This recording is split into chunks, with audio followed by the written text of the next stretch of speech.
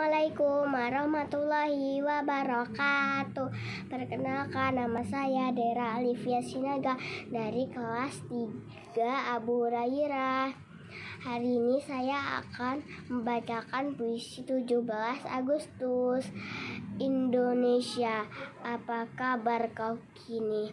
75 tahun sudah kau berdikari Berkat perjuangan tidak terhenti, sosok pahlawan yang begitu berakti. Indonesia telah banyak mengalami luka, telah banyak melewati duka. Semoga takkan terjadi hal yang sama. Tetapi, benarkah negeri ini sudah merdeka? Negeri ini sudah terbebas dari penjajahan. Sudah berhentikah perjuangan kita? Tidak, perjuangan harus tetap berlanjut.